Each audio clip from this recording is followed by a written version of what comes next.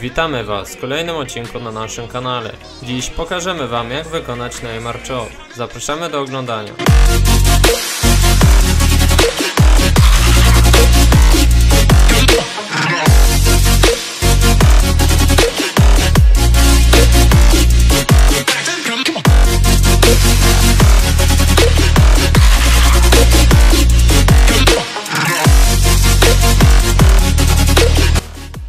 Początku przyciągamy piłkę lepszą stopą w kierunku słabszej.